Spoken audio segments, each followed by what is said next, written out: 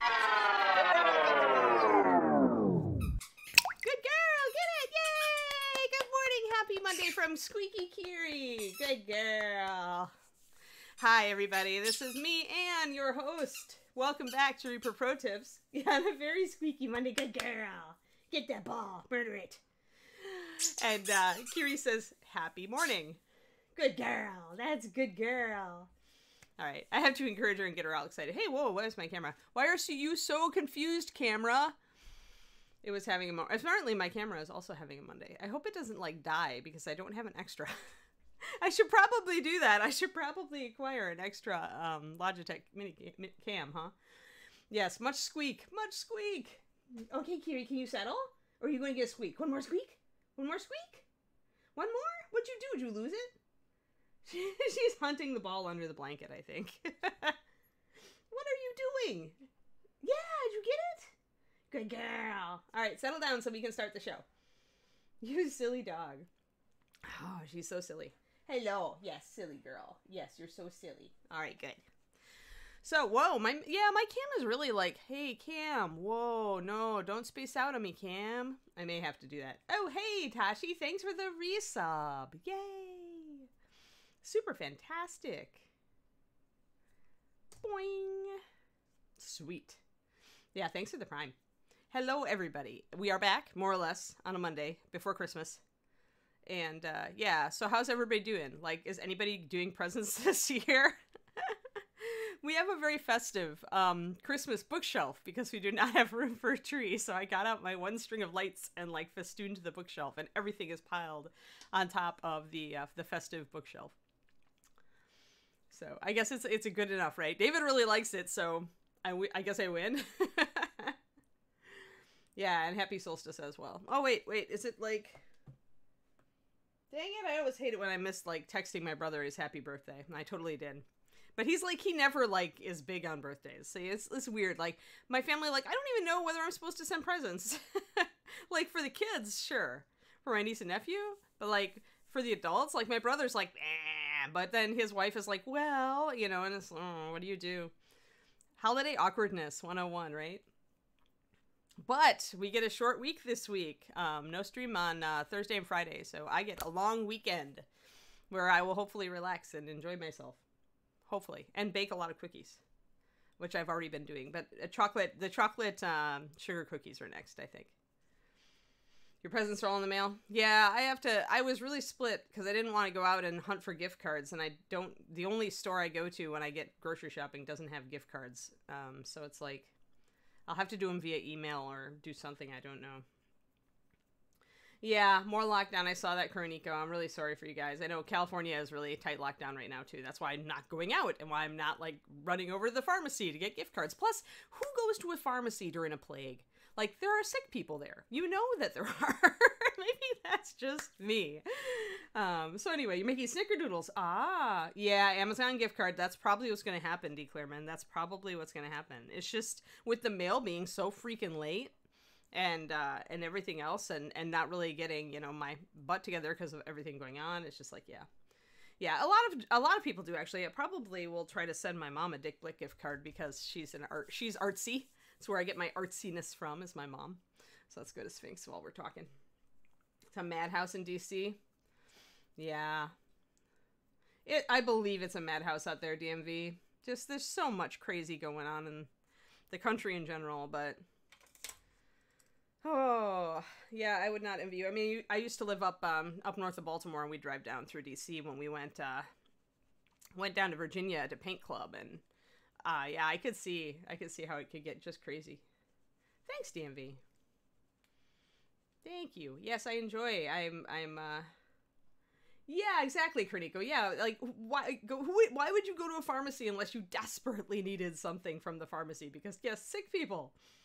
Um, yeah, you everybody. I think a lot of people have a love hate relationship with Amazon, right? And but I'll say, I mean, Dogfather, for all that, there's things I wish they did differently. Like they are saving our bacon during these lockdowns. Like they are seriously, we owe them a debt. Like we owe them a forgive some of the hate. I think because without Amazon, I'd be so screwed. Hey DM, how's it going? I have a DM Sultan, a DMV, and it's like too, many DMs, many DMs. Yes, exactly. Many many painters have trained for this lockdown. Yes, you've got it, Rex. I actually am looking forward to getting some painting in um, this uh, holiday weekend. I, I am going to make a duck for Christmas dinner, but other than that, oh, and I'm making I'm doing a pork roast tonight, a Chinese five spice one. But hey there, Bob and Julie. Julie, of course, summoned magically um, because I'm painting a model. Not really. You've been here a lot lately, Julie and Bob, which is really cool, actually. I like seeing you guys. So, all right, we have a Sphinx, and I'm going to work on jewelry today. So let us think about. I think I'm going to highlight some of the blue and turquoise, or should I do that? I probably should do the gold first, just to get the gold picked up. Yes, that's exactly. When Bob and Julie arrive, it's a party. We can officially get started. You got it. But yeah, oh hey guys, I want to show you something. For those of you who are following the Targaryens, and they're all like they're all like shiny and done now, but I want to show you Aegon's back. Sigh of Dragons. Dragons. So the dragons got done. That was the last thing. So today I have to take pictures of those and uh, get them over to Jim. So those are uh, from Darksword Miniatures. All right, where is? Come here, cat. Sit, get stick on camera, Sphinx, while I get my colors.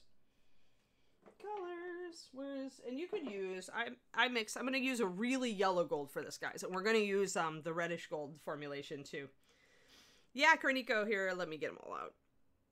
Uh, not that I'm supposed to advertise Dark Sword on our stream, but you know, like Jim's our friend. So that's his sister. Oh, I gotta fix focus. Yeah. So his sister, and she's just pretty plain because her her cloak has a lot of folds. And then his other sister, who has the dragon on her chest, and I did a little bit of the symbol on the back of her cloak, and then Aegon. So yeah, those are the three Targaryens who started it all in Westeros. Um, let's see here. Where is my hmm? Aha. So we want to be really yellow with this. We want to go also really red with this. And I have to put on, I have to start making a list of paints to reorder. Like, I thought I had extra of my russet brown, but, or not my russet brown, my ruddy leather, but I think I need more. So I'm to need to uh, do a Reaper order. Yeah, thanks, Kerniko. It's, uh, the black NMM was really a challenge because it's so hard to make it stay dark enough. Um, fairly, I mean, what I'm doing is I'm mixing in this to some more standard NMM colors. So for our very red, here, let's back out a little bit so that we can look at all our bottles. So, so what we do, my latest recipe for NMM Gold is kind of a combo. So I do rich leather and uh, usually go down to, in this case, I'm going to be shading with some ruddy leather because I want that red tone that Egyptian gold tends to have. Um, hey, Estelle, thank you. Yeah, she's cool. So these are the colors we'll be using. So rich leather, um, we'll be doing a bit of ruddy, ruddy, uh, oop, not russet brown, ruddy leather for shadow. If I have to get a darker shadow, which I usually do, I'll use either brown liner or probably blackened brown. Sometimes I use russet brown, it depends. Um, but then my intermediary color is a mixture of these two, actually. Mostly this with just a touch of that. And then uh, my last highlight is going to be a mixture of these two and then go up to white. But I put a drop of lantern yellow in every single color just to warm them up because this is it'll give you a kind of muted gold. Uh, if you if you use the the base triad, the NMM gold triad, it'll give you a, a, a really a solid gold. But I like my gold, uh, especially with Egyptian stuff. I like it really yellow, so I add a lot more yellow. And the yellow that I choose is lantern yellow because it's more of an orangey yellow, so it's warmer. So now, now we've got that out of the way. Let us make some some paint puddles. Yeah, it's not too bad. Uh, not too bad here. I feel okay ordering paint here with uh I mean it might pass through frozen frozen states, but I'll take my chances. Not gonna do a big order just in case. You never know. If it all arrives and it's trashed, then I'll just have to conserve my ruddy leather. Thanks, Aristel. These are easy though. Like Julie sculpted these eyes really big, Aristel. So I mean, they were they. I mean, it's still hard to do like the highlights and stuff if you you got to develop your brush control, right? But but because the eyes are so nice and large, it is easy to do a colored iris. Um, so that's something that uh, the sculpt just makes a lot easier for you. She has really big kitty eyes, and that's uh, that's much easier to paint um, than small eyes. And it's about the minimum size that I would do for a colored iris as well. All right, so now I'll show you guys my mixes here. So let's see. We've got our russet brown. You can just see that off to the side. Now for my middle mix, instead of using this the middle um, NMM gold color, which I could do, but you're going to see this actually turns out very similar to that color. For some reason, I just like to simplify my mixes. You guys all know that, right? And I like to kind of simplify the number of colors I'm using also. Um, so I do a lot of mixing. So that's three drops of the NMM Gold highlight. You know what? I'm going to do four. Because I do the four to one mix usually. And then over here, we're going to do about two drops. And then I'm going to start adding in my lantern yellow. So this is four drops of rich leather, and I'm going to add one drop. Remember, we always use at least four drops in the, these wells. So this extra yellow is going to give me some extra drops. This is five drops already. It's four of the NMM highlight plus one of rich leather. Now I'm going to add a drop of lantern. Over here, I've only got about two drops of the NMM gold highlight. I'm going to add two drops of lantern. Um, and then I'm going to actually add a drop of pure white to this as well. And the reason is I still want it to be, hey, thanks for the resub trouble. Awesome. 11 months, you're almost to your sub anniversary. Grats, man. Or, or, or woman. I never know. Who knows if trouble is male or female? Probably both. Trouble could be either. But anyway, um, since this lantern yellow, you can see it's darker than the NMM gold highlight, and I still need a fairly light color for my highlight. So I am gonna, to counter that, I'm gonna put in a drop of white to counter that lantern. Uh, and then we're gonna go up to pure white because that's what we have to do. So four drops of pure white. And that is our palette to start out with. Now, let us mix it up. Uh, where's a, where's a mixie brush? Mixie brush, mixie brush. Well, I guess we'll just use this. I really need to order like some cheap mixie brushes. I guess I could use my flat. The problem with using too big of a brush for mixing uh, up your paint is that it, it, a lot of it you lose a lot of the paint right because it clings to the bristles, but you don't want to wreck a small brush. Okay, so what I'm doing here.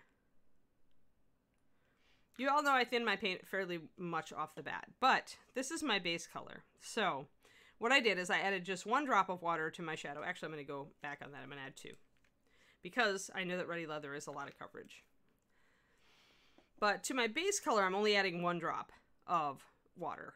And then when I go up to these highlighter colors where I know I'm going to want them thinner, I'm adding two drops. So I'm adding two drops of water there, two drops of water there. Uh, so that's almost a two to one, a one to two, no, two to one, sorry, uh, of paint to water. These actually have five drops of paint in them, so it's a little bit lower. But, and then to the white, I added four drops of water right out the bat because I know I want it thin and I know it can take it. So, uh, Crowley with NMM, I never ever use anything but pure white. NMM is the one thing that you always use pure white. The reason is that a shiny surface is going to have the brightest possible highlight. Bleached linen is the near white. If you have no other white on the model, it may work just fine, but um, it just the other thing is it doesn't thin. It's not as as um, excellent as pure white as, as far as being thinned. I don't know. If I were you, I would just go with a white. I wouldn't go with an off white. Bleached linen has yellow in it, which I guess could read just fine, but it also has brown in it and a little touch of black. So you are getting those other pigments in there. Um, it probably wouldn't matter just flat out, but I always I tell people because the biggest problem I see with people's NMM is is one of two, and usually it's both. Is they don't go down to a dark enough shadow and they don't go up to pure white for highlights, and without that pop up pure white, you lose the shininess.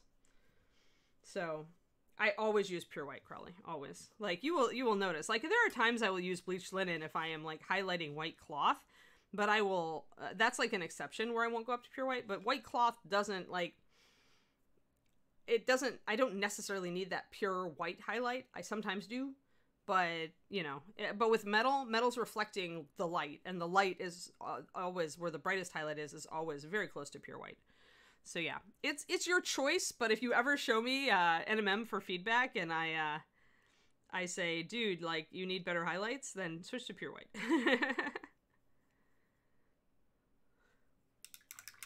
yeah, most common NMM mistakes: not taking it up to pure white or not shading far enough down, and often I see both on the same model. Mix up all our paint paint.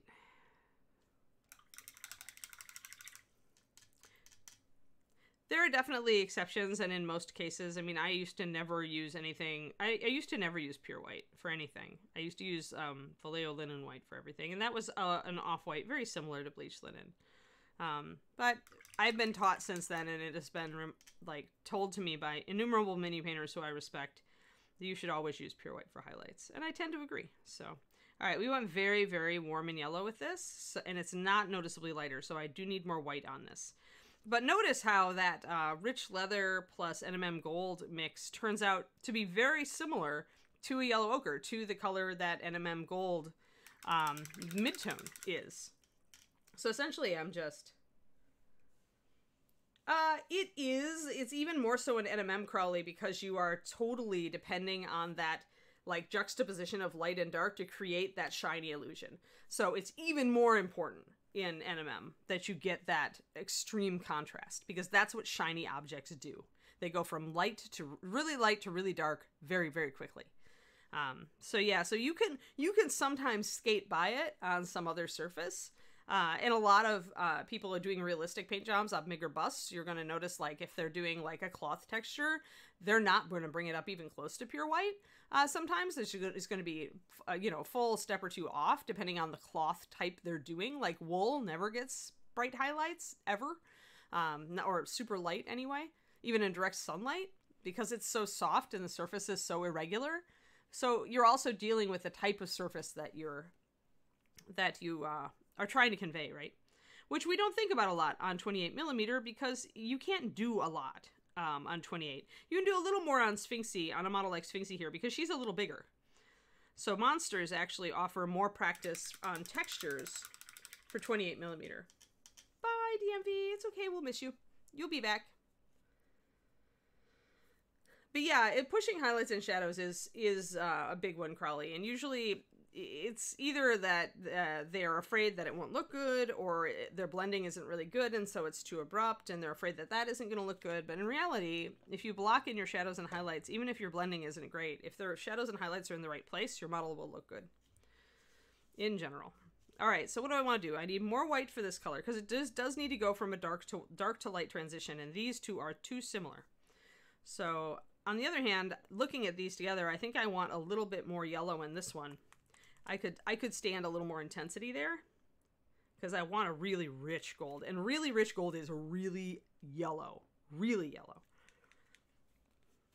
So I'm going to shift that color more toward the yellow and I'm going to shift this color more toward white. I want to be able to see difference between my steps. Hmm, let's check in the chat. And I do have a lot of yellow load in here, so it may be a little more difficult to get this to shift. I may need a couple of drops of white. When you're starting out with a lot of paint in the palette, then it can be difficult to shift your colors. It gets more and more difficult to shift your colors you're fighting against what's already there.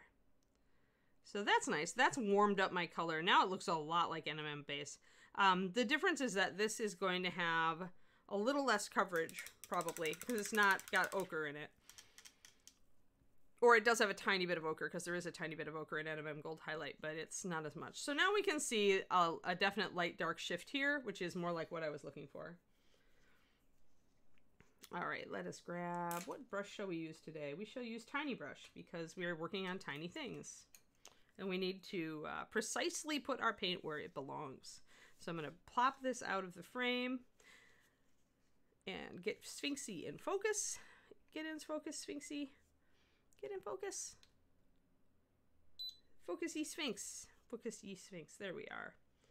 Good. There we are. All right. So finally, we could kind of look up. I probably should have looked up what vultures actually look like on that one side to make it um, more uh, more vulturey. I probably just need a head and a beak, right? So I'm going to start with my first highlight and I'm going to start just kind of picking out details. Um, yeah, I don't know if we can really suggest a vulture head there. We could at least uh, suggest kind of the shape of the head.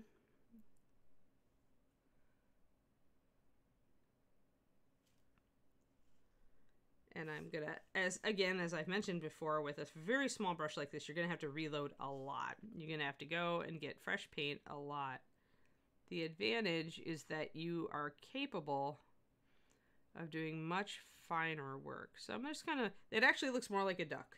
but but it kind of does look like a bird now, so I'm I'm okay with this uh, particular vulture. I'm going to grab some of my shadow. The other thing small brushes are not good at is wet blends. So if I want to do spot wet blending, I'm either going to have to do it on a tiny scale here, or I'm going to have to uh, switch to a bigger brush.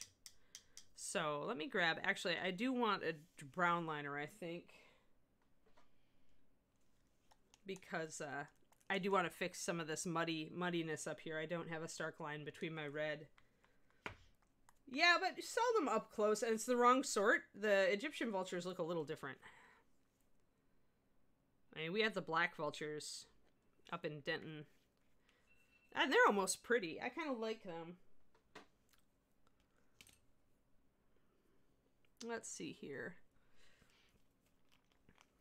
I'm just going to get a bit of brown liner mixed up here because I want to be able to line spot line where I have uh, blorfed in the past or where I've been imprecise. Morning, Dragon. How's it going? We're sphinxing today.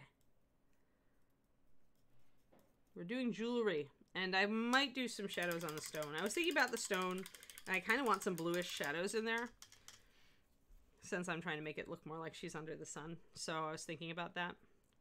So I may actually add some more cool shadows just for fun. All right, so I'm going to fix this little line here, and I'm going to make sure that the uh, neck of the vulture stands out from everything around it. Of come in here and slim that down a little bit.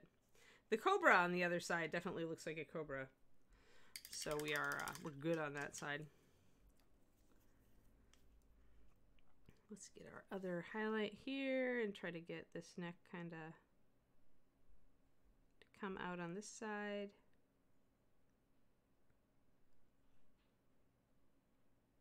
When you've got little features that are so tiny like these little heads, just do your best. It doesn't have to be perfect. It doesn't have to be like, oh my god, I need to be able to tell that's a vulture, you know, from 50 paces, paces or anything. Just uh, do what you can to bring out little features. Like, you know, there's a beak right? So we can accentuate that there's a beak by highlighting it, and we can kind of leave a dark space between the beak and the top of the head, which will help to separate those two things and make it look more like a bird. If it was an animal, we would do a stripe down the, the middle of the forehead, right? But here we want to separate those two things. So you can do little tricks like that. Just think of sketching and what your key features are that you're trying to bring out. Concentrate on the key features. And you can see I'm having to reload my brush like pretty much after I apply paint, I go and I reload my brush. And so I'll have to rinse very frequently also because this brush is so small. Um,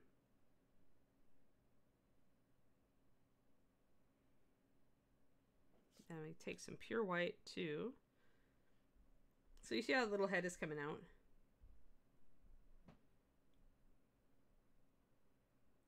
Yeah.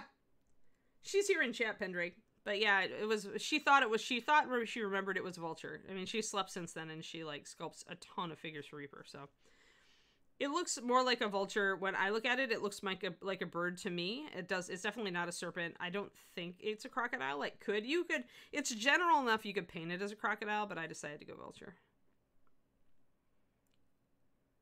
Got a little bit of highlight there to really you see how those little popped highlights? When you're doing uh the other thing you should know guys is when you're doing nmm on such tiny little things as this don't sweat the details. Like you there's not enough room to do a full you know highlight with a shadow under it and an under reflection. You have to generalize when you're doing tiny little things like this. The important part is that shadows are present and highlights are present in the right color. And then the fact that you do the full NMM treatment on the rest of the model then will make the viewer see these as the gold that you want them to see it. So you're not trying to be super precise on all these tiny gold details. It's impossible. It's just not going to happen. Um, so just don't freak out about it, essentially. Like in the middle of these tiny bands, you're probably only going to be able to suggest the highlight in the middle and bring that up And again, it's the NMM treatment on the bigger parts of the model that is going to make this carry successfully. It is a vulture. Thank you, Julie.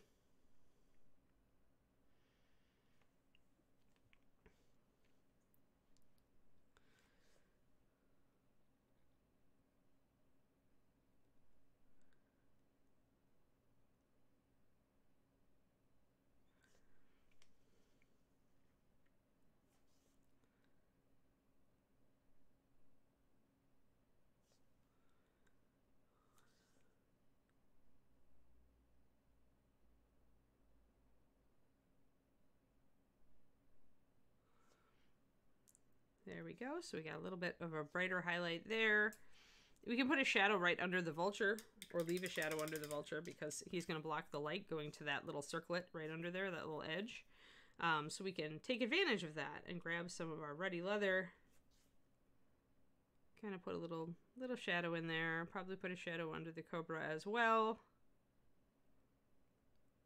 But we can go in and hit that little, um, oh, I blurfed and hit that little um, place where the crown comes down kind of between your eyebrows.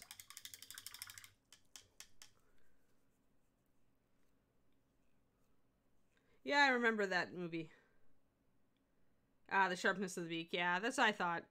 Yeah, it's gonna, right? It's such a tiny detail. It's, um, I can see how it would soften in the bones material.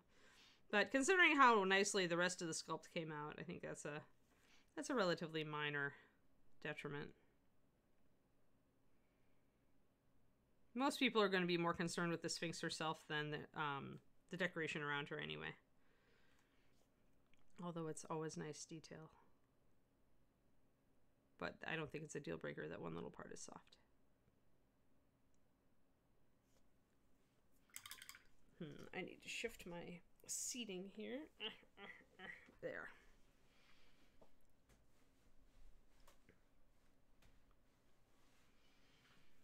There we go. So I got a little abrupt on that little that little circle. It almost looks like a little link. Uh, so I need to fix that a little bit. I need to blend that highlight in a bit. Yeah, that's what this is, uh, Twistedoma. It's got both. So phased it out a little bit. Gonna grab a little bit more of a bright highlight.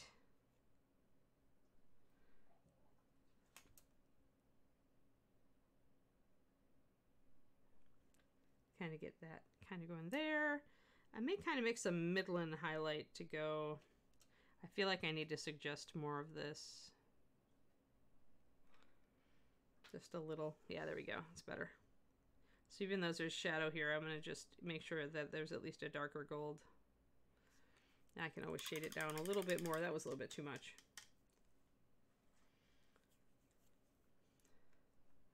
Yes, she definitely has sass, the Sphinx.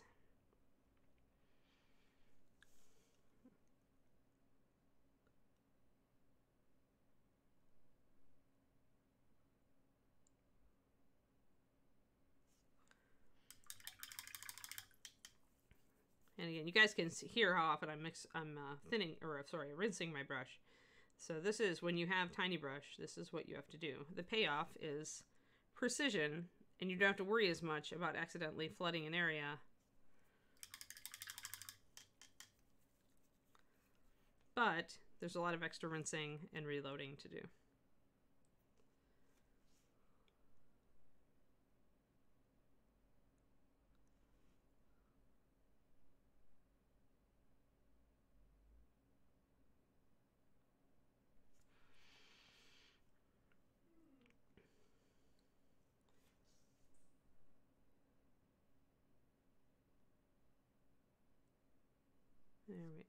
Getting uh, that little bits of detail coming out. Yeah, here, let me bring the cobra out. Then it'll be evident there are two critters. You can be forgiven for uh, not noticing the two critters. Now here we have to emphasize the stripe of the belly and then the hood on either side to make sure that those details come out. And again, Tiny Brush is really good at this because it gives you precision. I did, it looks like some of my paint didn't quite carry on top of the head here, so I'm going to go up here and uh, make sure that parts of this are painted in. You can see there's a kind of a little bit of gray back here. So I'm going to come back and hit that in. The cobra's coming out.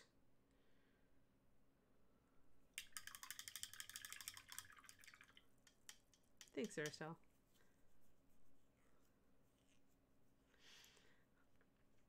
Twisted Oma, I think I could I can answer that one. Is uh, when I see Bob and Julie, there there are the remaining sculptors that still like working in green for the most part.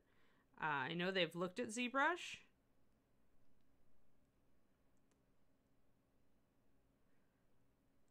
But uh, I don't know that. I don't think they're trying to change over. Could be wrong.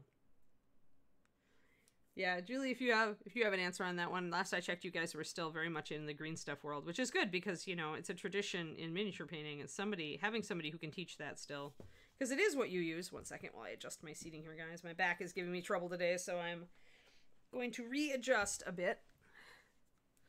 Make sure that my posture is correct. There we go. The problem with ZBrush for me it's always been that it's so hard to learn.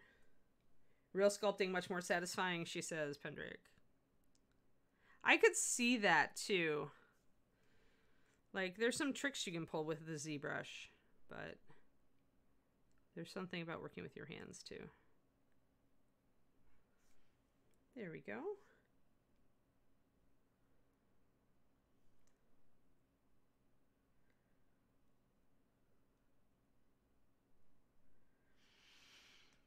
Yeah, I haven't seen Wapple's glue method with green. Be careful if you're ever gonna put. Be careful with using anything anything called glue if you're ever gonna sculpt something to be uh, put on mold. However, uh, I think that uh, Kevin, our on-staff Reaper sculptor, would probably rise up with an awl in his hand or a very pointy, nasty weapon and threaten you with it. Uh, super glue. I remember. Super glue turns liquid in molds, uh, so sculptors who would uh, put parts of their models together with super glue and not cover them over entirely with green, essentially it would ruin the whole sculpt when it went into the mold making. So be aware there are downsides if you are uh, if you are thinking about putting something on mold to using types of certain types of glue. Which I know some of you do like to get things like made, but I guess nowadays it's more likely you do it for 3D printing, but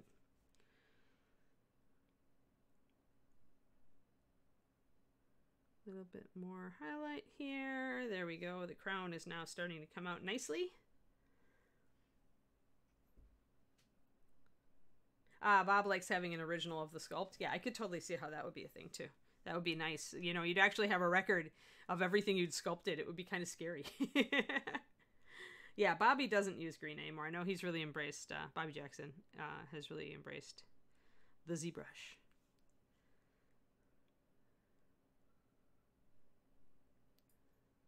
I like having both schools represented in Reaper Sculpts. Um, one thing, though, that Bobby, I have heard Bobby Jackson say about it, you guys who are interested in all this, is that he does find that uh, ZBrush does look too artificial and he has to often go back in and add flaws to his ZBrush sculpts, like sculpting marks almost, to make the model look more real, to look less artificial and fake. So that's something also that green stuff, you know, the re- the realness of the sculpt when you're doing green, you do get more of that artistry and the artifacts from the sculptor. The little imperfections, right? So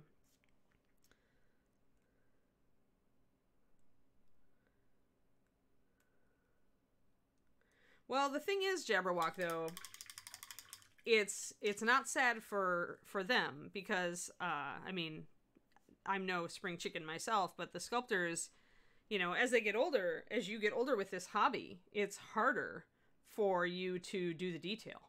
And what ZBrush has opened up for um, for Bobby and for Jason, I would say maybe for Gene, I'm not sure, um, but it essentially allows you to keep going and even improving and not worry about not being able to see the details as well or to execute them because you can zoom in, you can turn the model, you can do anything, right? Um, and you don't have to worry about putty curing time. You can work on it in 3D infinitely until it's right. So it isn't don't don't entirely think of it as sad because when some sculptors that are really brilliant get older, they ZBrush may be actually a really good tool for them. Yeah, older eyes. Well, Jason has said that, right? Like he was just his eyes were getting old. He was missing things like like fingerprints and stuff like that. Then he got into ZBrush and, and Jason's sculpts have exploded. Like they're amazing. You know, so Hey there, Absalon. Yeah, happy solstice. Yeah, exactly. Yeah, it gets harder on your hands, exactly. Yeah, so so not entirely uh, sad. I think. I mean, Jabberwock. When it comes down to it, yeah, we it's it's great. You know, when we can still do like this stuff by hand, but uh, it's also great when when a sculptor who might feel like they're losing, you know, their capability gets a new life with um, being able to do the 3D things. So, like, I'm just wowed by Jason's stuff. Like, I always liked Jason's stuff before, but now I'm like just super impressed. Like, he's got the man has chops.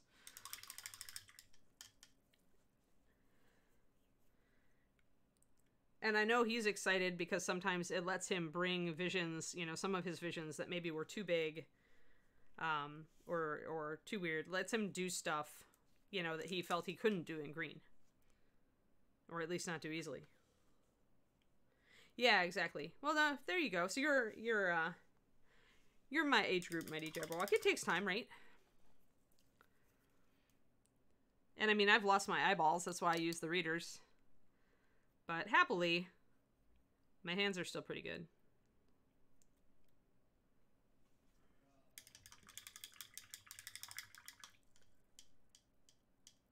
Yeah, Jason uses ZBrush. All of Jason's stuff for the last few years, I want to say.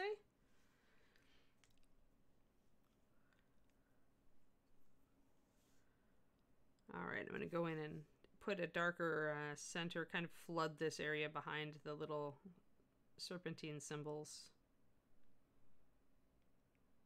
with dark so I can get those to really stand out. I could use black for this because it's probably onyx, but uh, brown liner will look close enough. Probably.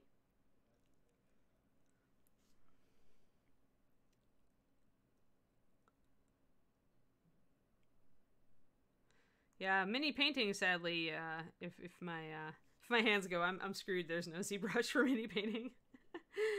ah. I still have my brain. I can write about mini painting.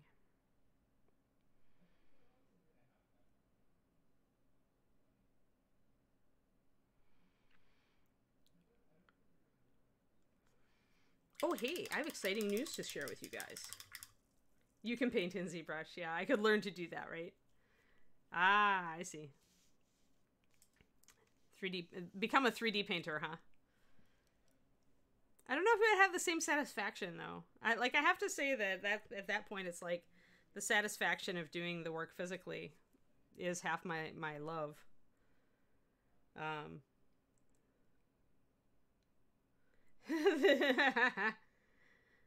Before the show's over, Jason sends around a picture of like dire toilet paper. Yes, exactly it's just a, it's a different experience. It's a different experience, right? But yeah, so hey guys, hey guys, I've got I've got exciting news. So you remember that on December 1st, just like, you know, even though I was kind of a coward, I did I followed through on my promise and I sent out my um, my query letter about my novel to my first choice of literary agent, which is these days you've got to apply to the agent. You can't just send it to the publishers. It gets tossed in a big slush pile and nobody sees it. So the agent got back to me and wanted to read the first 50 pages, which is an amazing sign. That's uh, pretty darn awesome. So even if she ends up not liking it, um, I know that my query is okay, right? Because it worked to get me in the door. Um, and, you know, so yeah, so I know that my query is okay, and now my writing has to, and my first 10 pages are okay, because that's what the original query was accompanied by. So now my, my writing has to stand, right? So now we'll see. Well, I wasn't accepted, but, you know, she wants to see the first 50 pages. So now essentially she liked my writing so far, but she wants to see how I'm carrying the story and how my writing is, you know, not in just the first, the hook section, so to speak. So essentially when you're submitting to agents getting a, a, request for a partial which is what this is is big. Like you're like oh my god. Normally you just get a rejection. So cross fingers for me everybody. Um, but yeah this is like i said even if she decides to pass me by um, i at least now i have useful information. I know that i don't really need to rework my query. Um, and if she decides to pass on it maybe she'll give me some feedback on you know what exactly lost her. Uh, but yeah, we'll see. We'll see. It's cool. I mean, it's Christmas. I probably won't hear back for a couple of weeks yet, but and the turnaround time was pretty good. Like my initial, I wanted to send it to this particular agent because I really have always felt that she's a great fit for my writing. Um, and so I only sent it to her because normally if you do simultaneous submissions, you have to you let the agent know that you've sent it out to more than one person. Yeah, it, it, what it does mean is that I've been seen, right? Twisted on it's, it's that feeling of yes, now they they actually my writing is good enough to have gotten their notice. I have their attention. And that by itself is rewarding. I completely agree.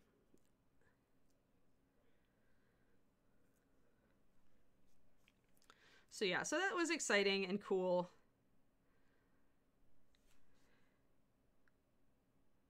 And I still have like a hundred more literary agents to submit to after this one. ah. But uh, but yeah, this this agent just uh, she has uh, she works with an author who actually inspired me when I was a teenager. Like I read this author's book when I was a uh, teenager, and it was a lot like the stuff that I now have gotten into writing. So I, it was a logical approach there.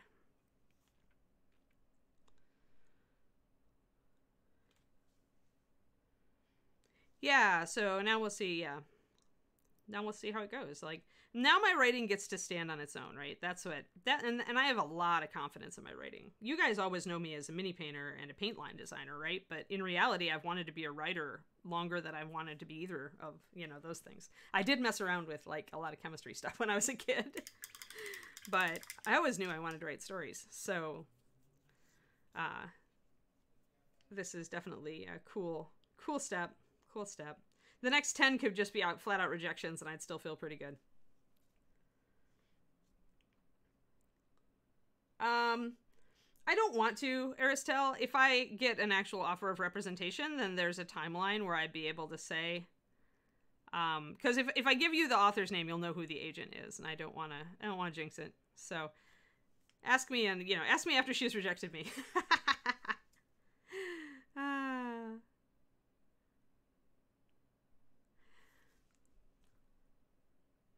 yeah. Uh, well, you you I don't know if you you're pretty new Aristel. So uh, what I write is I write um, fantasy based on on folklore. So I, I call it mythic fantasy. I don't know if that's an actual term, but my novel, current novel, and its uh, sequel are uh, based set in a world based on Norwegian folklore.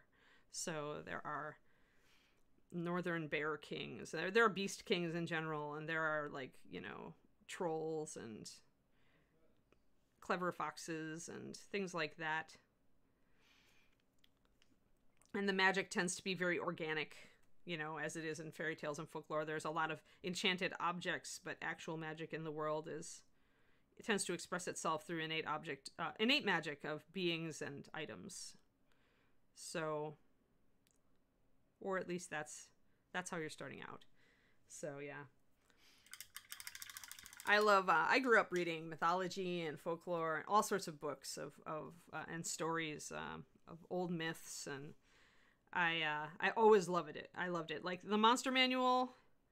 It was one of my first fa- my favorite books when I was a kid. When I was like first getting into D and D, because they would, a lot of the monsters would draw upon actual mythology, and I would recognize them from that. Um, so that oh that got me like even more into it and I always liked. Um, I always wanted to run. Uh, is it Pathfinder Mythic? Is that is that the one where Pathfinder kind of takes some of the the rules from rules quote unquote traditions from folklore and mythology and uh, kind of applies that to Pathfinder campaigns. Ooh, kickboxing. You're fit, Dogfather. Wow. Good job.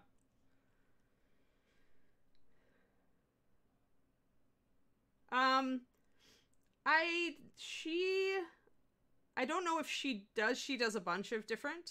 Um she's done she's tackled various things. I think I know who you're thinking of, in which case I think the answer is no. Um but it depends. A lot of the authors that let's just say okay, let's say this Aristel. This is a top agent, a senior agent at a top New York literary agency. This is not just some literary agent out in the boondocks. I went to the top.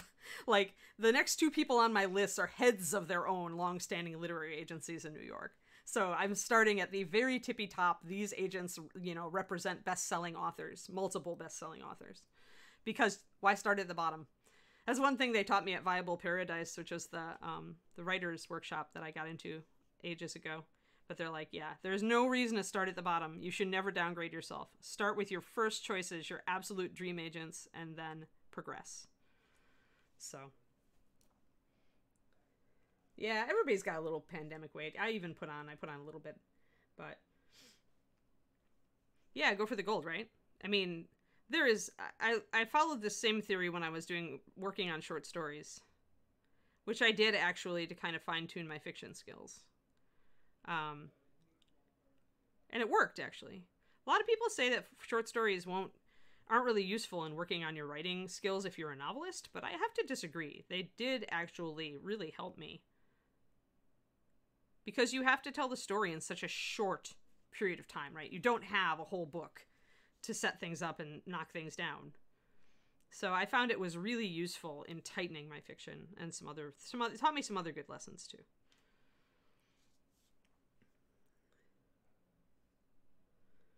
Right, exactly. Yeah, yeah. You like, yeah, submitting to like people who aren't as big, like, or or or Aristel. If the the lower tier snap you up, could you have done better? You know. So I'm not gonna aim. I'm not the type of Anne to aim low. I never have been.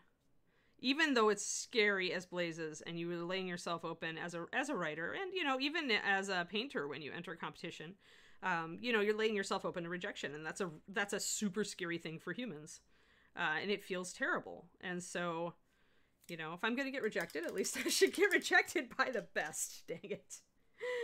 Uh, right, exactly, Twisted Oma. And I've, to be honest, guys, I've been wanting to be a writer for so so long. Like since I, I think I was eight when I started wanting to be a writer. Like I was an avid reader as a kid. Once I could figure out how to read, you know, like I was already a good reader in kindergarten for my age group for sure. And like a few years after that I realized humans actually wrote books and then it was like, yeah, I was going to try to be a writer, so and I have a lot of confidence in my writing. I put a lot of work into it. I've put at least as much work into my writing over the years as I put into becoming a miniature painter. So what we're doing here, speaking of, getting back to the topic at hand, is remember we're doing the kind of an alternating bands of light and dark. Um, I do want like some dark right next to the light, like down here. Uh, but up here on the shoulder where it's more perpendicular, I can get a little bit farther away. Oh yeah, well that's hard though, Aristotle. Like writing good nonfiction, good clear nonfiction that's still entertaining and not boring, like that is um well in research papers had to be so meticulous. Like so that's a serious talent too, you know, don't downgrade yourself fiction is always what was always my love, and it's what I started trying to write early. So I've uh, had a lot of time to get better at it.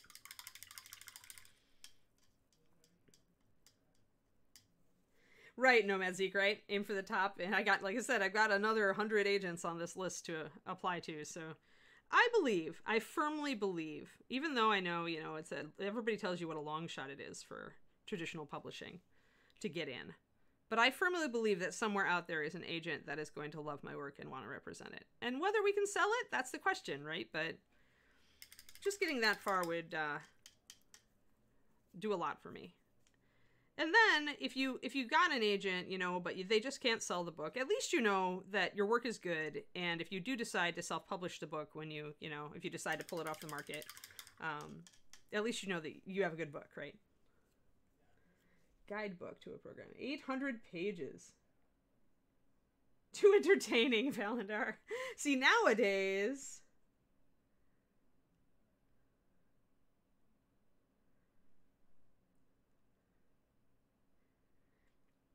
Yeah, yeah.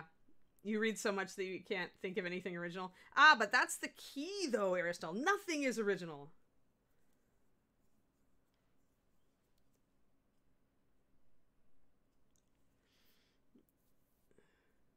Sorry about that delay there, Aristotle. Do try to keep your language on a lower level um, and try to avoid overt profanity. I passed it this time, but but we're trying to keep kid friendly. My little nephew watches this show sometimes. He's not that little now, actually. Probably is taller than me. Knowing the genes in that family, my sister-in-law is, is like six foot, and my brother is six two. So I imagine both children are going to be immense giants and far taller than me. But uh, but yeah, my my nephew does watch this show every once in a while. So just a just a request to to try to keep the profanity uh, tuned down.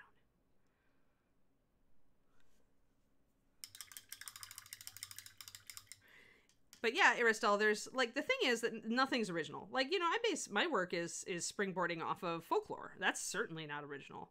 There is one other author that has tried to kind of that has done a book, a successful book actually, based loosely around the folklore, the specific folklore tale that I that is at the core of mine. So it's not like I'm being original and trying to do a story based on this, but it's the details that are original, right? That's where you reach for originality. It's like Oh yeah, Red Links. Like becoming just like a, you know, becoming just a doing writing for your job and being able to sustain on it is really rough, right? It's uh, yeah, absolutely. Like I kind of have an advantage in that I'm more or less I could I could still get better, but I'm more or less like doing okay with my painting job, right? So like my Patreon, thank God, thank you all for being my patrons. You keep me going literally. Um, you know, and the, and the, you know the freelance, the commissions, and the um and the streaming uh, on my my D and D stream, like all those things, like give me a foundation. So now if I'm springboarding off into another freelance, you know, I'm already working for myself in one. so. Oh yeah, Oh wow, yeah. There's a, so many more amazing female writers out there now. Twisted Oma, right? Is don't you love to see that? Finnish lore from the Kalevala. Yeah, that's interesting. That's interesting. You know, there's got to be something Valendar out there. Somebody's got to have tried it, but maybe not. You know, maybe it just wasn't a real marketable book, and so it didn't get like. I can't believe that nobody's done it. Yeah, right. Tashi, you have a totally good point too, is that too much originality, if you depart too much from what people are familiar with, then you lose them. Uh, so you've got to have something that's familiar but fresh, which is the challenge, right? It's the real challenge. Well, then you just change a little part of it, Aristotle. Like, we all do that. Like, I can't have read every single fairy tale novel out there in the world of creation, but I'm pretty sure that my take on it's going to be creative. And if I do discover that I've copied something, then I can twist it a little bit. Yeah, because that's the key. Is like there are so many books out there, right? But at the same time, those are books that people have already read, and maybe they're looking for something that's kind of like what they already read, but they would, you know, that just is a little bit different. And so that's where you come in. Everybody's a little bit derivative. It's just the way it goes. I realized I have a I've lost a little bit of uh, paint here. So I had to mix, try to mix the color to uh, cover over it. There we go. Sphinx, you got a little bit of rub off. I had to had to quick mix uh, a fix. Yeah, Tashi, I agree. That's that's just too much. Like, and you as a writer, the other thing to remember, Aristotle, is that you as the writer may feel that it's a little bit trite, and you should always double check yourself on that. But always get a second opinion. You always have to give it to like a beta reader or two and see, um, that kind of thing. Ugh, yeah, that's and that's where everything gets really muddy on with the fanfic, right? That's why if uh, like I I was in a I was at uh a panel with George R. R. Martin once, and uh, people asked him if he read, like, if he kept up with the forums on his fan site, and he's like, absolutely not. And and they were like, well, why? And he's like, because it, I might be tempted to be influenced by them, and this is my story. I want to tell it the way I want to. And everybody out out there is throwing out all these ideas, and they're throwing out all these, you know, all these plot lines that might be real or might not. They're they're doing speculation on what this character is really up to. He's like, I can't afford to even read that. I've got to I've got to keep writing from what is in my head. So he's like, so I, I just don't follow it. he's like, I'm sure it's really entertaining, but but I I have to keep telling my story. So yeah, exactly, right? But there are people out there that will take those ideas and run with them. Oh, Muay Thai, that's serious, Jabberwock. Like, doesn't that break your body? Like, Muay Thai, isn't that really hard on you? Like, I knew a kid, uh, well, a younger person who did it back when I was in Wisconsin. It seemed like it was a really hardcore. Yeah, exactly, Valendar. You have to be. That's why I think I, Gurm is a smart guy, and uh, I think his his attitude is correct. And I also like the attitude of writers who don't even read their own, the reviews of their book. It's like the book is either selling or it's not, and reading your own reviews is either going to give you an inflated opinion of yourself or it's going to make you depressed. hey, Val. Meetings are stupid. I agree. Now you hit people with steel swords. Well, you know, if you're going to go from Muay Thai to something else, at least it's sufficiently hardcore. hard, hard to the tune of steel core. All right, so what we did here, guys, see, it's a simple uh, simplification of the NMM um, color sequence.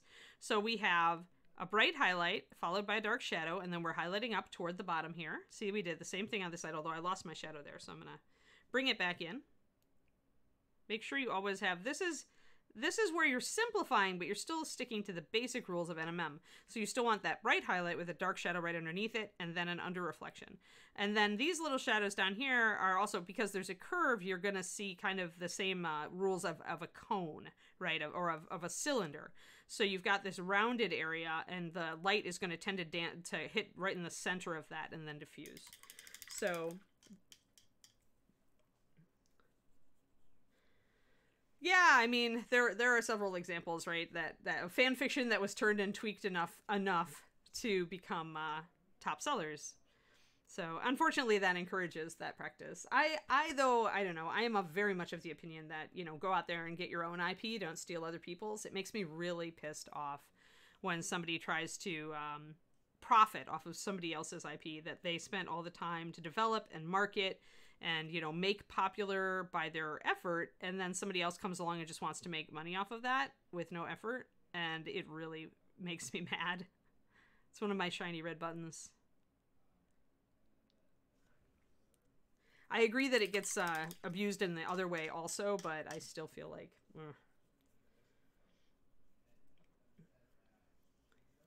Yeah, exactly. Well, and there's a ton of, and even now, actually, who was it that I just came up with?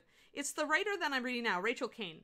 She is the first female author that I have yet that I had yet run into who was a bestseller level author who was not forced to change her name to write a male protagonist.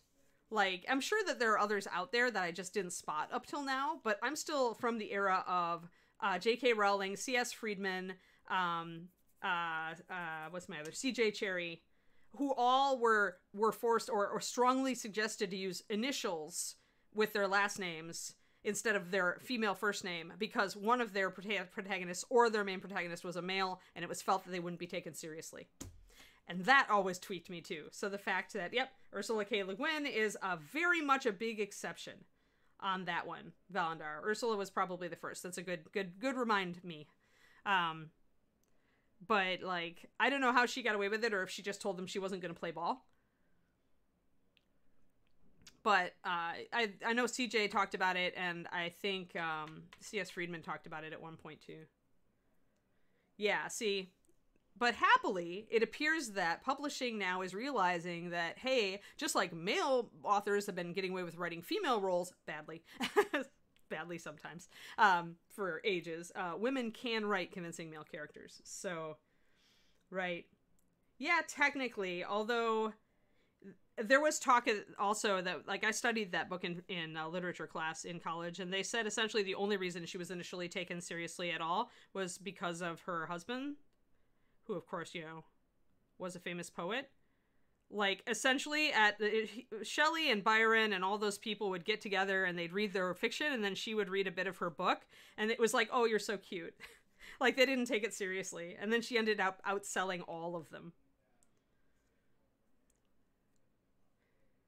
Andre is her real name, but Andre is also a, potentially a guy's name, so they probably wouldn't have pressured her to uh, change that one.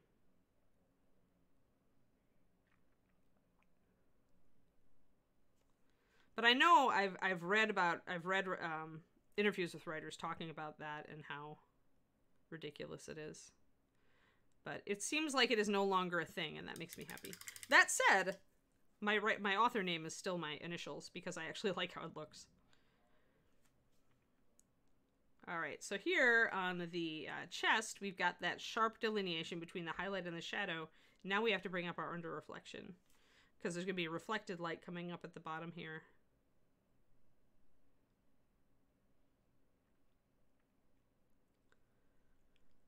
You see that under reflection there.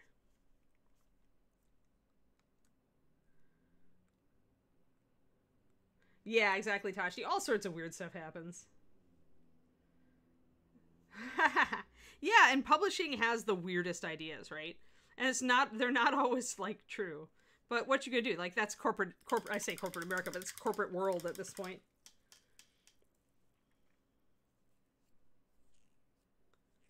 Yeah, yeah. Well, I mean a lot of people have been done dirty by Hollywood. I mean I've heard stories too. It's Hollywood. That's why uh why Gurma, he used to do Holly. He used to work in you know in television, and uh, he got out to be a, a, novelist as soon as he could uh, make a significant living at it. Yeah, Nomad Zeke. You know what I got? I got uh, downgraded and not given a medal in poetry reading for forensics because it was felt that the subject matter of my poetry that I had chosen to read was too masculine for me to read it. That's the 80s for you. We have made some progress, you know. We have made some progress. But yeah, that's what that's what it was like when I was a kid. Yeah, see? Yeah, Aristotle, you totally get it. Yeah, anybody who who thinks that, you know, the 60s fixed everything. Let me tell you, as a girl who loved Rudyard Kipling and the Jungle Book, in high school forensics in the late 80s uh, being told that she couldn't read one of her favorite authors. It wasn't suitable for her. Oh wow, Aristella. Yeah, that's ridiculous. That that should have been a parent high school intervention right there. Yeah, the 80s, right.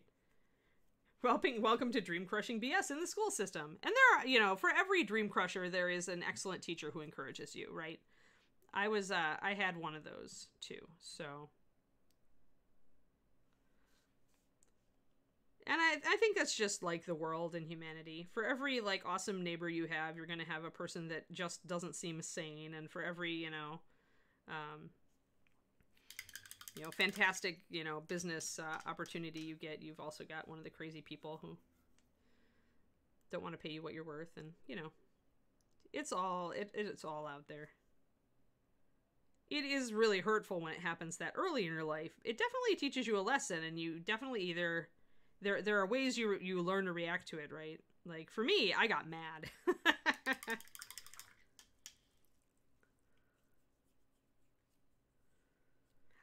yeah, back then it was it was like it was starting to twist a little bit, right? Twisted Oma, but we were still um like at least they didn't mind if I read it, you know, aloud at home, or if I read it at home. They just didn't want me standing up and reading it in front of a class of people. They didn't feel that was suitable.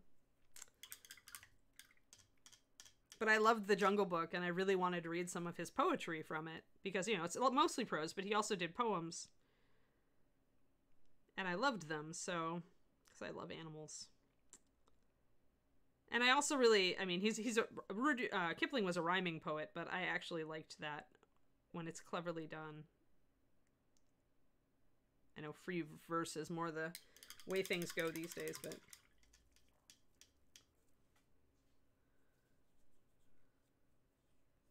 Yeah. Yeah, and you're just never going to change them. You're never going to change those people. Like you just got to In fact, you just should not even engage with the crazy at that point. In my opinion. You just do the best you can not to engage.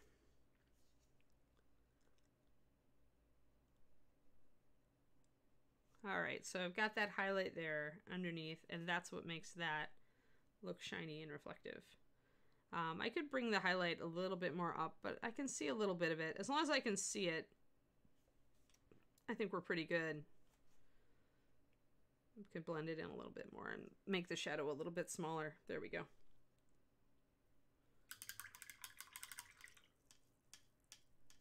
Oh, yeah. Yeah, Aristel. Yeah. Yeah, I mean, I was pretty lucky too. There were just some times like that. But because I was overall lucky, I was able to look at that time at that forensics tournament and uh, get mad instead of getting depressed or discouraged.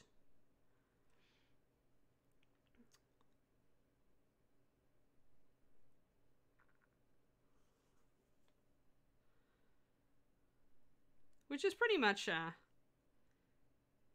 the way I try to greet things like that, injustices. I mean, there are times when you just can't. You just can't engage because you're not gonna. There's not. It's not gonna do any good. Learning, learning uh, which uh, which fights to take is important. I think.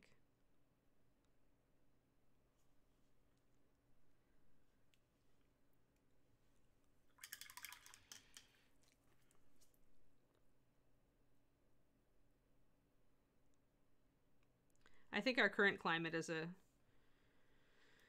great example of that is the polarization and people believe very strongly on you know various topics and and you just you just aren't going to dislodge them. And maybe you shouldn't. I mean you know you never know. It's not really your your role. Like if somebody if somebody has a, a belief that you think is just core wrong i mean it's really their own responsibility to change it. It's not your job. So unless it directly starts you know legally infringing or harmfully infringing on you yeah learning when to fight. I learned that at reaper too. There's only so many things you can do. There's so many projects you can follow. There's so many uh so many like things you can you can champion you know? So many ideas you can push. I think it is important to to direct your energy in the best way for you and to not get mired down in negativity very hard very difficult not to be negative there's a certain seductiveness about it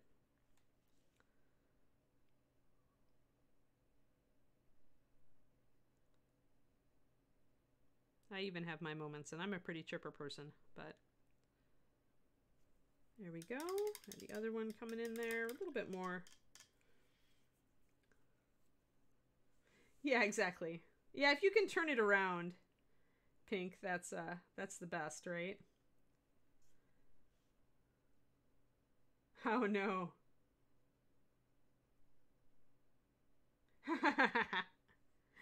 yeah, that is funny. Be a Managua. It's not like I can give you brownie points. That's ridiculous. Here, let me get some red into these. Uh, I forgot that we need some red into these shadows to make them a little richer. Bring in some reddish tone. Haha. and that's a good one. I don't I don't hear about and that's very often. At least not in the USA. It's not like, and there aren't many Anns either. Like, Anne is one of those names that's perpetually kind of lurking out there, but never gets super popular. Which I'm okay with. I mean, in when I was in school, Jennifer was the name, and there were like four Jennifers in every class. It was ridiculous. So I'm okay with not being a terribly popular name.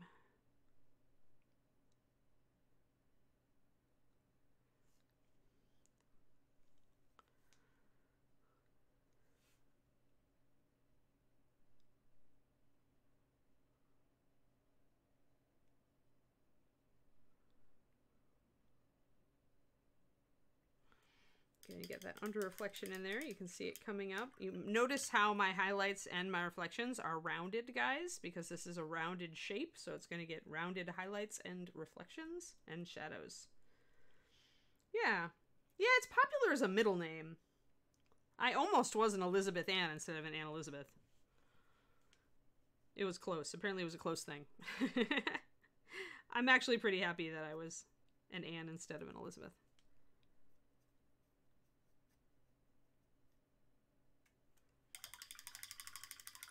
My mother's middle name is Anne. Although mom has like one of those archaic cool names nobody ever has anymore. My mom is a Lois.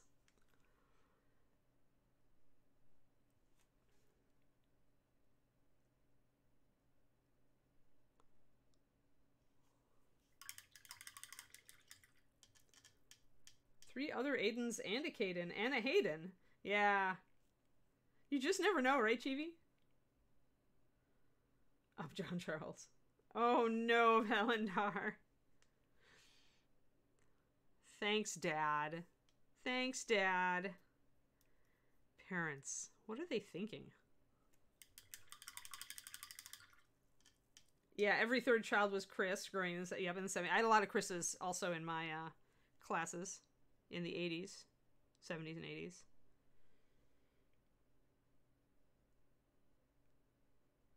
Yeah. Well, and we, we know that you know that if you're like somebody like me who like where there's more than one variant of your name. Although I think the Bryans have it worse. And poor John, uh, Reaper John, you've got it bad too. You've got the the J O N, which I always thought was a cooler spelling anyway, but which you know is usually the last spelling people go to. It seems like. trying to fine tune some of the shading now. Wherever I kind of look at it, whenever I'm working on something like this pretty organically with NMM, I'm always kind of evaluating, do I need a heavier shadow? You know, does this, is this shape wrong for the surface? That kind of thing.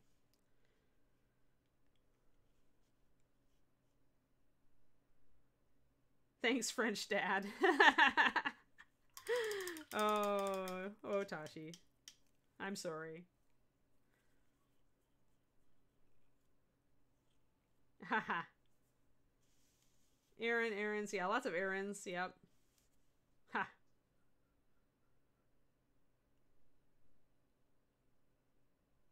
Oh yeah, Ajax is one that uh, hasn't uh, taken off. That's a cool name though. Plus you can be a Jax or a Jack if you want to. That gives some options anyway.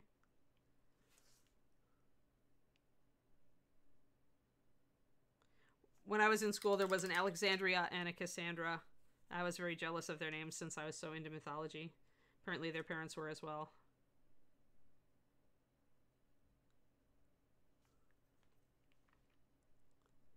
But of course, they were Cassie and Alexa or something.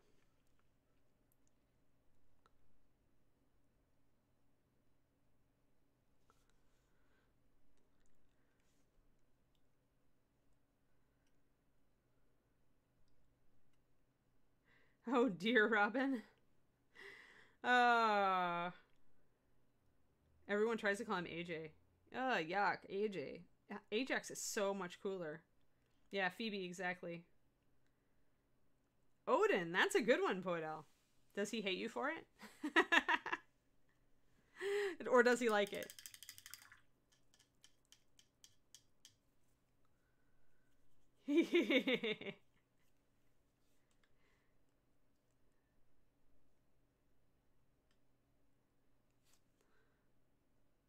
I mean, there are some kids that revel in their unusual names.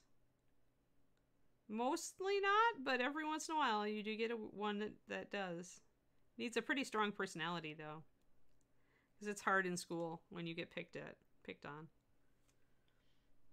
Cousin has a Thor, wow.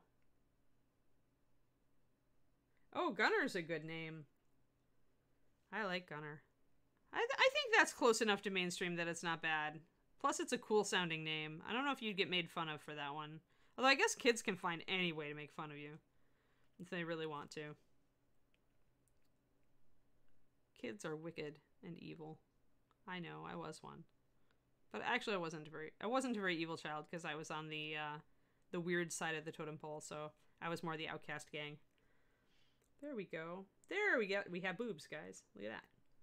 With under reflections. It's great. Now we got to get in here and do some of this gold, which is kind of in shadow, so it's not going to get a lot. Would have been Loki. Yeah.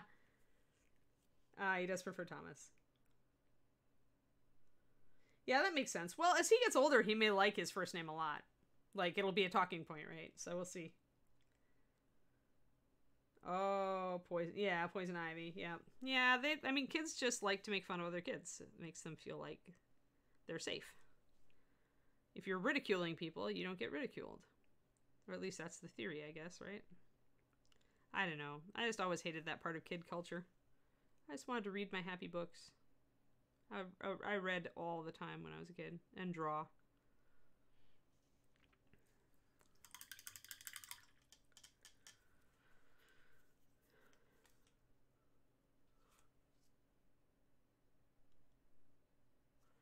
Trying to touch up some of my lining here.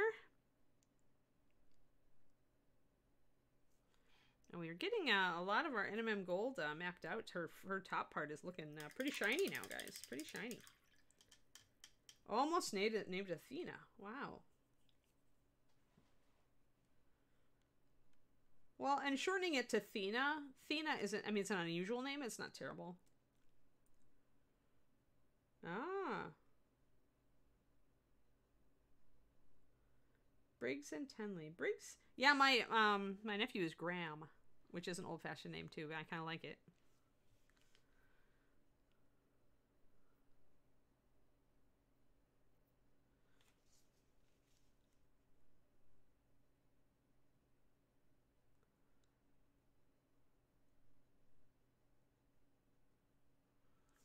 There we go. Get some of that highlight down there, just a little bit. Aislinn, yeah. Yep. Can't, can't call anything a Loki. yeah, I think naming people after trickster gods probably is asking for trouble. Like, I don't think I would do it.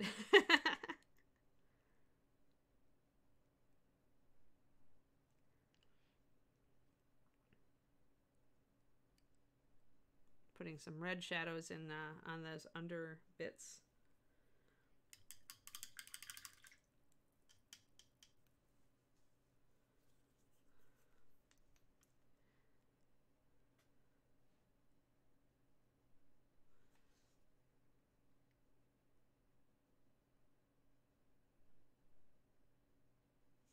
There we go, a little bit of highlight, probably a little bit too much, bad enough for a cat.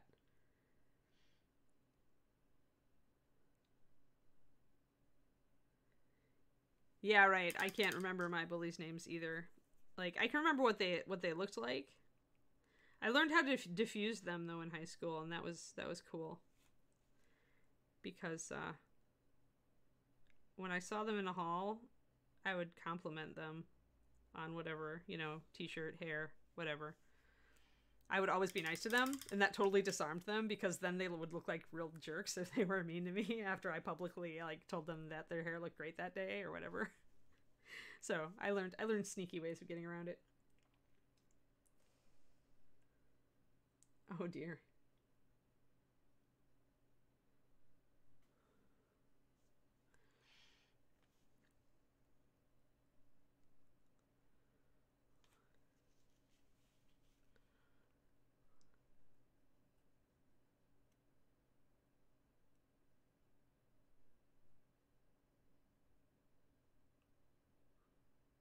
There we are. Got just a little bit of light down under there. You don't want it to be brighter than the under reflections, so I may need to tone it down just a little bit because it's all going to be reflected. So I either need to bring a little bit more to the um, under reflection here to make that more in line. Yeah, that's probably what I'll do.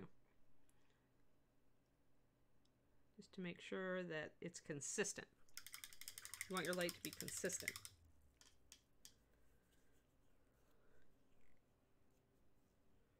Yeah.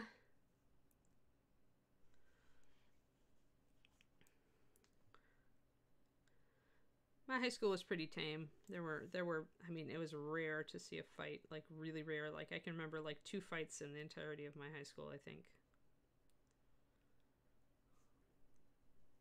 And I would be never the type to get into that sort of thing.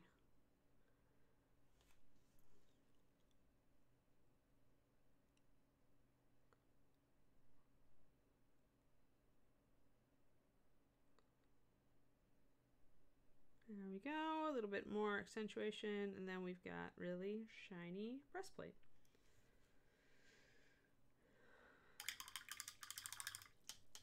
So we've almost got, let's talk about how to do this. Let's see, what are we at? Oh, we only have like five minutes. All right, so let's talk about our, our armband here, right? Because it's a, it's a cylinder. It's going around her upper arm. So we're to make sure we got a nice solid base coat on it because some of it may have a little bit of rub off or I may not have put it on as strong as I needed to. And your highlights on a cylinder are going to be going, actually, now that it's wet, you can kind of see, but your highlights on a cylinder are generally going to be at the four compass points. Um, so you're going to have one going directly down the front, wherever the light sourcing is. And then you're going to have a secondary on the side, because as you turn the model to the side, that's what you're going to see. And then you're going to have another one toward the back, and where it goes under her arm, you aren't going to have anything. Um, but normally cylinders highlight like that. They'll go a bright light down the middle and then shadows and then go back out to highlights.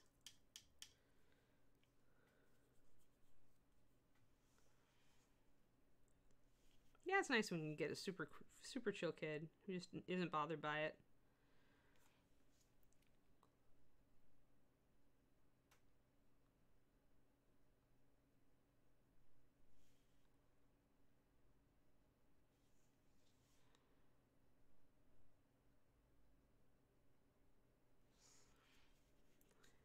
I'm doing my lining just because if I have to go back and do my lining after I do all the highlights and shadows, I've got a higher chance of screwing it all up.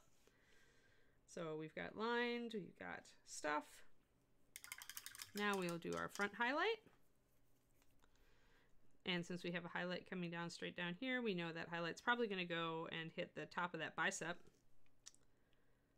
So it's going to be here, here, and here and uh, it's going to go straight down toward the ground. The arm is out a little bit to the side guys here, but we're going to make the highlight go down and just block that in with pure white. Honestly, it'll be more of a spot highlight, but right now I'm going to have it like that.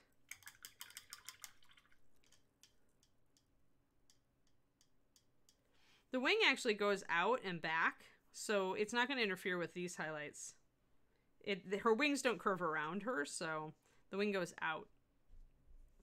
So it may overshadow this one, but you're still going to get some bounce light.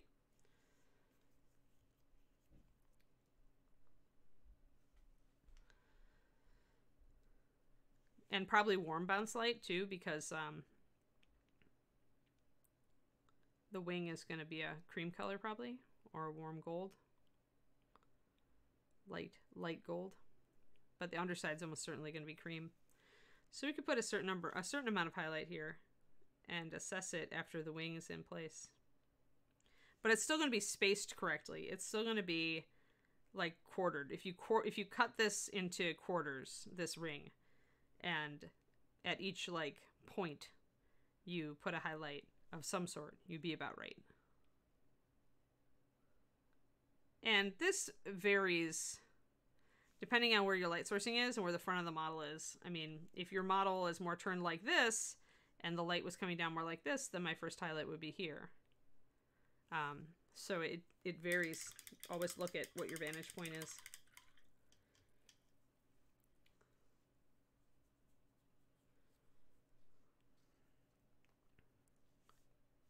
Want to put a little bit of shadow in here.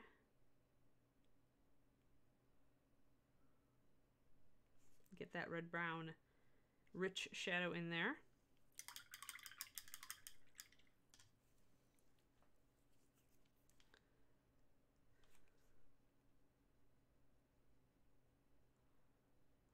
A little bit there.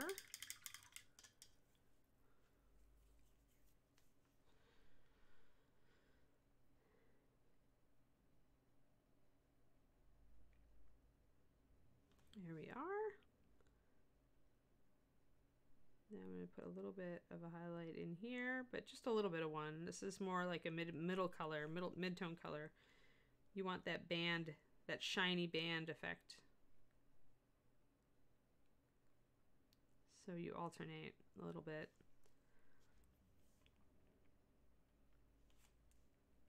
I'm going to shrink my highlight and actually bring it a little bit more toward the front. Bring the shadow up right next to it so it's more shiny.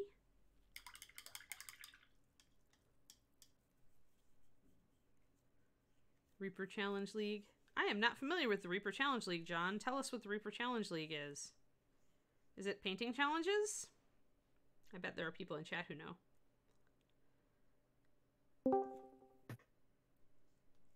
Don't mind if I do. Go ahead. Um, so I've been talking with the community about this for a while. Uh, this is the Reaper Challenge League. Uh, basically, there's monthly, quarterly, bi bi-yearly, and yearly challenges, and you complete those challenges to earn points, and then you can spend those points on raffle tickets that we do. We're going to do a raffle at the end of each quarter.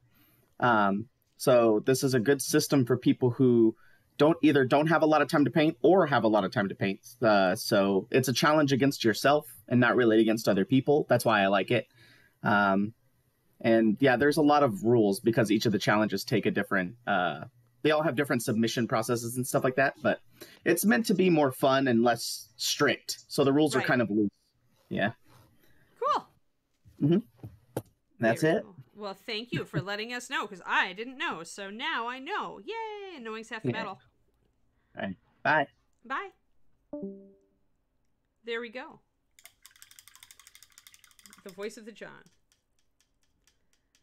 Yeah, so here we are just like pretty much like doing some alternating bands. And you would do a lot of the same thing. You guys will see this on. Oh, as I drop my brush. Oh, noes. One second. Must retrieve brush. Ugh. There, brush back. Um, but hold on. I put my, I put my, I managed to get my earbud to work again over the weekend. Um, so, ah, and I'm also gonna break my chair. Uh,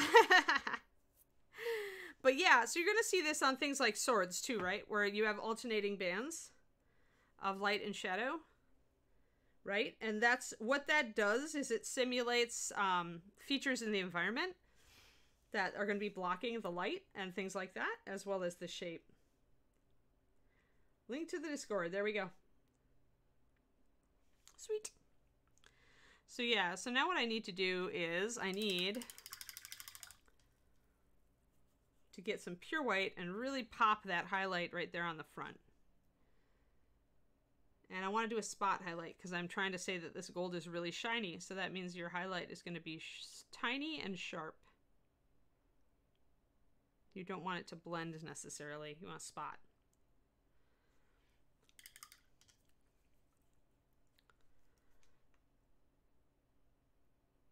And I got a little bit too much water in my brush.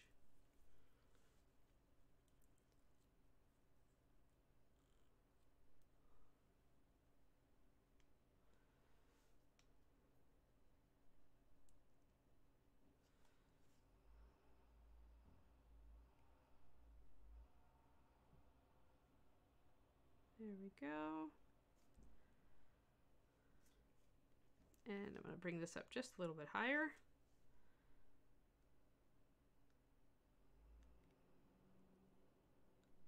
because I want a little bit more light there. There, shiny, shiny. When when you look at your NMM, look at it from more uh, more from more than one vantage point. So, like my first viewing angle is going to be face on, and I'm okay with it on the face on front. I feel like I need more shadow pushing this highlight back farther though, just from the way it's looking. So I'm to do that. I need a broader band of shadow. Push it back a little bit more. Doop. Now I like how that looks from the front.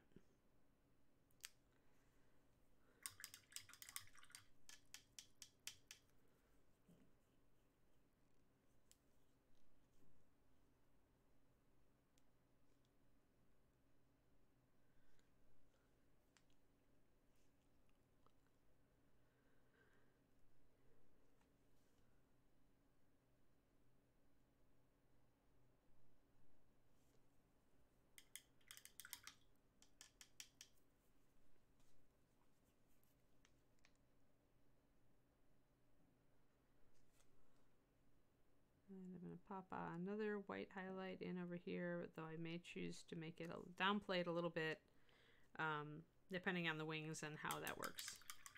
But I want it to read okay on the side.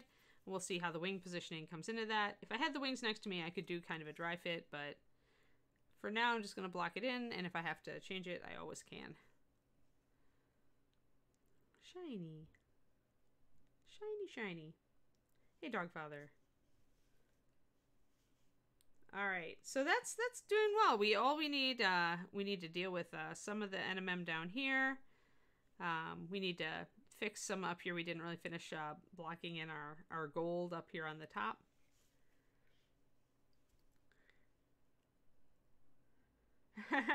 Crazy cat time. Oh.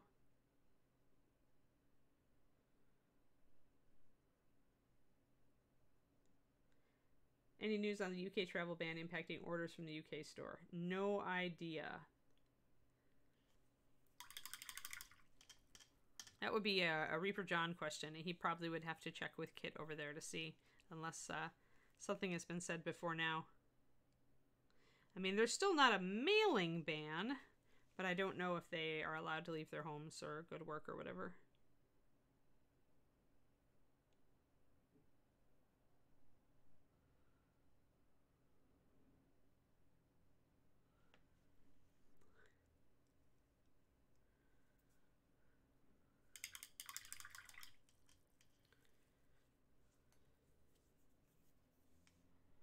To use some lining. I've kind of lost the shape of this, uh, the V shape of this uh, breastplate down here in the fur, so.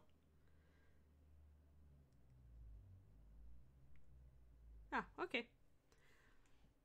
So yeah, John will check on that.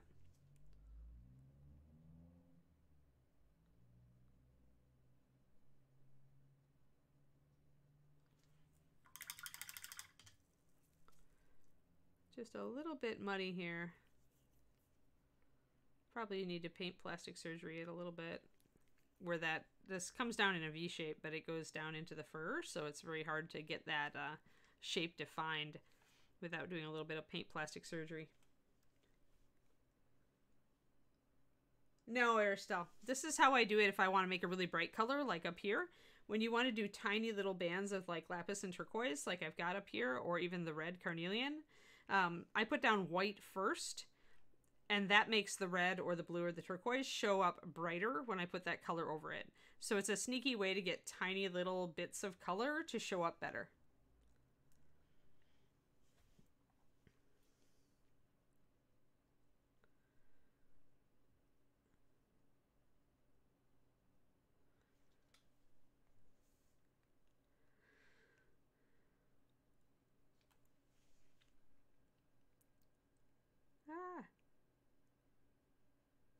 yeah, I'm just trying to accentuate a little bit of a shadow underneath this so that I can bring in a highlight and make it stand out a little bit more. No problem. We try to answer. If, if you have a good question, we try to answer it for you. Reaper's customer service is very good. It's always been very good.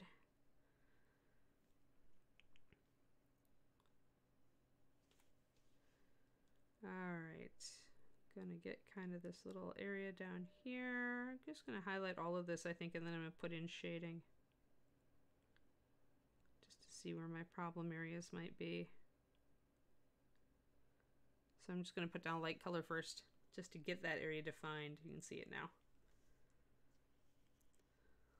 Ah! Sphinx! I forgot that I hadn't pegged her in. Usually she sits pretty well, but I've been hand handling and playing with her enough that she probably decided she wanted to flee. Sphinx is like, I'm done. Sphinx is like, it's time to call this stream. who are we rating? She says. so, Justin, who are we rating? Uh, let's see. So we got some NMM guys done. That's it. That's pretty much what we did today. Is gold NMM to get the Sphinx's jewelry looking nicer. Um, uh, while Justin looks for a raid, I'm gonna just recap what we did. We did the little animal on top of here. We talked about how you're just gonna do basic NMM rules up here and try to carry more of a uh, the real like effect on other parts of the NMM. I still haven't done the little eagle or falcon bit in the middle here. Um, but uh, talked about rounded highlights and shadows and how you deal with cylinders with NMM. Um, and then uh, ended up adjusting. Probably we'll do um, more of this and some highlighting on the colors uh, next time. So what do we got there? We're going to be reading Jimmy the Brush. Thanks, Julie. I'm glad you like it. All right, Jimmy the Brush, then, guys. Have fun. Say hi to Jimmy for us, and I will be back tomorrow morning. Have a great one, everybody. Bye bye. All right. We'll see you guys this afternoon for Miniature Monday. Don't change that dial and have a great rest of your day.